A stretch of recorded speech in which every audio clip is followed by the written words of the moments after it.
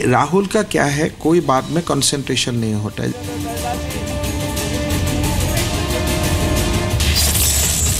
वो कुत्ता टेबल पर आया उसी समय, और जो प्लेट सा कॉमन प्लेट में बिस्किट था, उससे बिस्कुट उठाया। फिर उसी प्लेट से दो एक उठा के बिस्किट भी खाया। तो मैं तो हैरान हो गया, भाई, ऐसे कैसे देश चलेगा?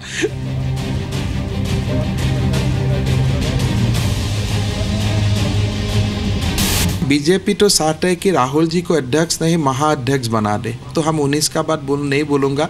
मैं सीधा सीधी चौबीस का बात बोलना शुरू कर दूँगा।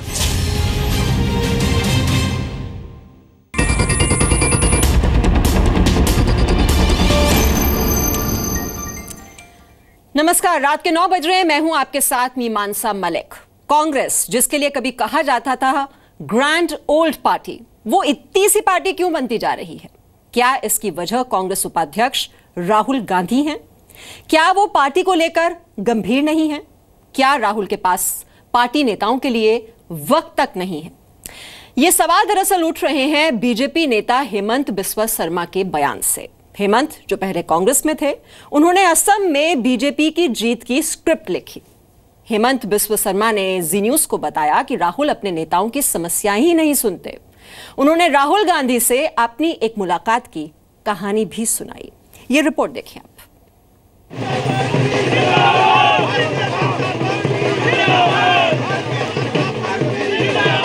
बीजेपी के लिए पूर्वोत्तर का द्वार खुल गया है। असम बीजेपी का हो चुका है।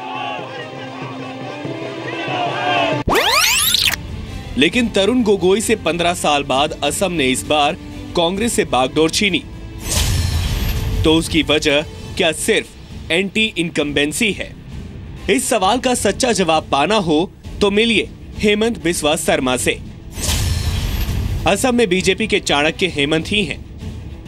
हेमंत 23 साल तक कांग्रेस में रहकर अगस्त 2015 में बीजेपी में शामिल हुए थे। हेमंत का बीजेपी में शामिल होने का बैकग्राउंड अपने आप में ही दिलचस्प है और राहुल गांधी के नेतृत्व पर गंभीर सवाल भी है। सुनिए, जब असम कांग्रेस के मुद्दों को लेकर दिल्ली में राहुल गांधी से मिलने गए थे तो क्या हुआ था? हम था सीपी जोशी था, तरुण गोगोई जी था और हमारा प्रदेश का अध्यक्ष था। तो ऐसा बातचीत में क्या हुआ? एक समय में सीपी जोशी और गोगोई जी का बीच में थोड़ा झगड़ा जैसा हो गया। तब झगड़ा हुआ तो वो कुत्ता टेबल पर आया उसी समय और जो प्लेट सा कॉमन प्लेट में बिस्किट था, उससे बिस्कुट उठाया। तो आई वॉज़ एक्सपेक्टिंग कि Rahul will intervene in the dispute कि भाई आप लोग झगड़ा मत करो। वो हमसे देखा और देखे हंसा कि भाई कुत्ता उठा के ले गया। तो ठीक है, दो मिनट का बाद मैस आता था, वो किसी को बेल मार के बुलाएगा कि प्लेट चेंज कर दो।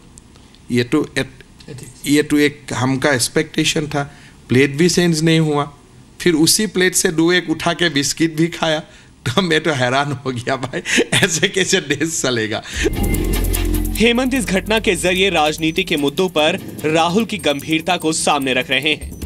हेमंत के मुताबिक, राहुल को अपनी पार्टी के नेताओं से बातचीत में दिलचस्पी ही नहीं होती।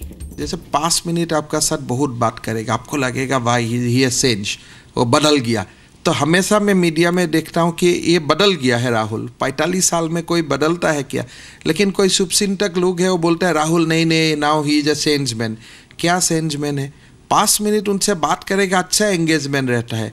छः मिनट में वो उनका पेट डॉग आ जाता है, वो उनका साथ खेलना शुरू कर देता है। फिर तीन मिनट। फिर वो लेके आएगा अपना कंसंट्रेशन फिर दो मिनट का बाद कंसंट्रेशन ब्रेक हो जाएगा। आप ऐसा कोई आदमी देखा? सवाल है कि क्या राहुल का यही अनमनापन कांग्रेस की चुनावी दुर्गति का कारण है? और उससे भी बड़ा सवाल कि क्या कांग्रेस राहुल पर उठ रहे सवालों की समीक्षा को तैयार है? कांग्रेस पार्टी के किसी वर्कर ने लीडरशिप पे किसी तरीके का सवाल नहीं उठाया और आसाम को लेकर जो चर्चा है, आसाम में तीन बार हमारी सरकार रही है। आसाम की जनता की बड़ी तादाद हमारे साथ है, आपके मुकाबले। 19 मई के नतीजों के बाद कांग्रेस सिर्फ़ पाँच राज्यों में अपने दम पर और दो अन्य राज्यों में सहयोगियों के साथ सिमट कर रह गई है। कर्नाटक, हिमाचल प्रदेश मणिपुर, मेघालय, मिजोरम, उत्तराखंड और पुडुचेरी में ही कांग्रेस की सरकारों के होने का मतलब है कि 2011 की जनगणना के मुताबिक देश के सिर्फ़ आठ दशमलव छह करोड़ लोग कांग्रेस शासित राज्यों में रह रहे हैं, यानी कांग्रेस देश की सिर्फ़ छह फ़ीसदी जनसंख्या पर राज कर रही है। कांग्रेस मुक्त भारत! ये भाजपा का नारा नहीं है। ये जन जन का संकल्प है। कश्मीर से कन्याकुमारी अटक से कटक। हिंदुस्तान ने यहाँ के कोटि कोटि जनों ने कांग्रेस मुक्त भारत, ये संकल्प ले लिया है। सवाल है कि क्या राहुल गांधी का कांग्रेस का नेतृत्व ही बीजेपी के कांग्रेस मुक्त भारत के नारे को साकार कर रहा है? किसी झुकी में जाकर फ़ोटो खिंचवाने से या कहीं दस रुपये अगर रेल का टिकट लेना है तो एटीएम से लेने से कहीं कोई आदमी बड़ा नहीं हो जाता। कांग्रेस के बहुत सारे लोग ये चीज़ बताते हैं कि राहुल गांधी के पास जाकर के अपना बात बताने से एक तो उसको समझ नहीं है दूसरा वो ध्यान देते ही नहीं हैं और लोगों का भावना का कदर नहीं करते हैं। 19 मई को एक इंटरव्यू में ममता बनर्जी का ये बयान भी सुनने लायक है।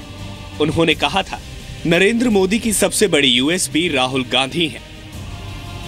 पाँच राज्यों में से चार में कांग्रेस के बुरे प्रदर्शन के बावजूद कांग्रेस में कोई राहुल गांधी की कार्यशैली पर सीधे सवाल नहीं उठा पा रहा। लेकिन दिल्ली के एमसीडी उपचुनाव में अच्छे प्रदर्शन पर राहुल को श्रेय दिया जाता है। सवाल है कि क्या कांग्रेस को इसी कार्यशैली को बदलने की ज़रूरत है? क्या राहुल गांधी को भी जवाबदेही से गुजरना होगा? और तभी कांग्रेस के अच्छे दिन आएँगे। विशाल पांडे के साथ रवि त्रिपाठी, जी मीडिया, दिल्ली। वैसे राहुल को अपना भविष्य मानने वाले कांग्रेसियों की कमी नहीं। किसी पार्टी के नेता के लिए ये एक सुखद बात होती है। लेकिन राहुल क्यों कांग्रेस के भीतर आत्मविश्वास नहीं जगा पा रहे हैं? क्यों कांग्रेस का प्रदर्शन लगातार गिरता जा रहा है? खुद कांग्रेस के नेता मानने लगे हैं कि पार्टी को सर्जरी की ज़रूरत है। लेकिन बीमारी क्या है? इसे मानने और समझने के लिए पार्टी तैयार नहीं दिखती। कांग्रेस ने राहुल गांधी के लिए अमेठी को चुना। उस अमेठी को, जिसने राहुल के राजनीति में उतरने से बहुत पहले कांग्रेस को अपना मान लिया था। उस अमेठी को, जिसकी पहचान ही नेहरू गांधी खानदान से होती है। ज़ाहिर है कि कांग्रेस की सोच और उम्मीद राहुल गांधी से वही है, जो नेहरू से लेकर इंदिरा और इंदिरा से लेकर राजीव और सोनिया से हो रही है। लेकिन क्या राहुल कहीं चूक रहे हैं? राहुल की राजनीति के पन्नों को पलटे तो एक महत्वपूर्ण पड़ाव आता है, बुंदेलखंड का। साल 2008 की शुरुआत में राहुल बुंदेलखंड के सूखे की समस्या पर वहाँ के लोगों के साथ खड़े दिखते हैं। वो वहाँ जाकर एक गरीब की झोपड़ी में ठहरते भी हैं। फिर राहुल उसी साल महाराष्ट्र के विदर्भ में खुदकुशी करने वाले किसान की पत्नी कलावती का ज़िक्र संसद में छेड़ते हैं Kalavati is a woman with nine children whose husband committed suicide three years ago. Rahul ने 2011 में उत्तर प्रदेश के भट्टा परसौल में भूमि अधिग्रहण के खिलाफ भी अपनी राजनीति सकारात्मक तौर पर जोड़ी इसी तरह कर्नाटक पंजाब ओडिशा जैसे राज्यों में राहुल गांधी ने खुद को आम जनता के साथ दिखाने की कोशिश की। लेकिन फिर राहुल की राजनीति कहाँ गड़बड़ा गई? दरअसल राजनीति के जानकारों के मुताबिक राहुल ने जनता से जुड़े मुद्दे तो उठाए, लेकिन उन मुद्दों को वो अंजाम तक नहीं पहुँचा सके। राहुल अपने ही मुद्दों पर गंभीर नहीं रह सके। राहुल की छवि कई बार उनके खुद के बनाए चक्रव्यूह में उलझ गई। साल 2012 में एक रैली में राहुल ने एक पर्चा फाड़ते हुए कहा कि एसपी, बीएसपी सिर्फ़ बातें करती हैं। बाद में पता चला कि उस पर्ची में कांग्रेस के नेताओं के ही नाम थे।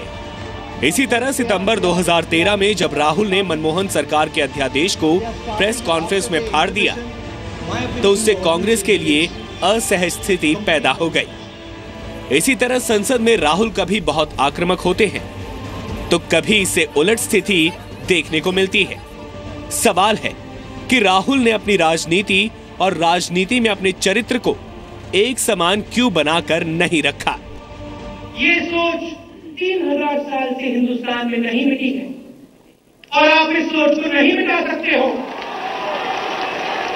और जिसने इस सोच को मिटाने की कोशिश की है, जिसने इस सोच को मिटाने की कोशिश की है, वो अपने आप मिट गया कुछ लोगों को उम्र तो बढ़ती है, लेकिन समझ नहीं बढ़ती है तो समझने में बड़ी देर लगती है। कुछ लोगों का ऐसा रहता है। और इसलिए चीज़ें समझने में बड़ा समय जाता है। कुछ लोग तो समय बीतने के बाद भी चीज़ें समझ नहीं पाते। और इसलिए अच्छा लगता है विरोध करें। राहुल गांधी के लिए अब चुनौती दोगुनी है। युवा देश के सपने युवा हैं और राहुल को अपनी राजनीति पटरी पर लाने के लिए उस युवा को अपने साथ जोड़ना है। लेकिन कांग्रेस की मुश्किल देखिए। एक अनुमान के मुताबिक गुजरात, हरियाणा, महाराष्ट्र, आंध्र प्रदेश, तेलंगाना, तमिलनाडु, हिमाचल प्रदेश और उत्तराखंड ही अगले एक दशक में भारत के विकास के पहिए बनेंगे। लेकिन कांग्रेस इसमें से सिर्फ़ दो राज्यों में सत्ता में है।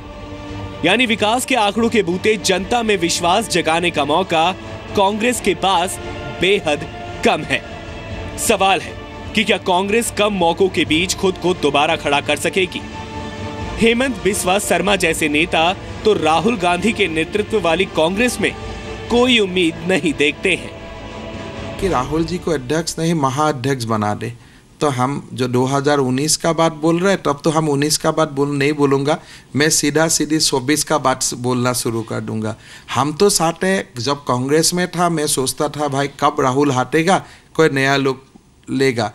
अभी तो मैं चाहता हूँ, राहुल का जीवन बहुत बड़ा हो, लंबा हो, और हमेशा वो कांग्रेस का महाअध्यक्ष पद में, पोस्ट में रहे। क्या कांग्रेस इस विश्लेषण से सहमत हो सकेगी? Ravi Tripathi, Zee media Delhi. So 2013 में राहुल गांधी ने कहा था कि वो पार्टी को इतना बदल देंगे कि कोई सोच भी नहीं सकता। पार्टी को तो वो बाद में बदलेंगे, पहले तो उन्हें खुद को बदलना होगा।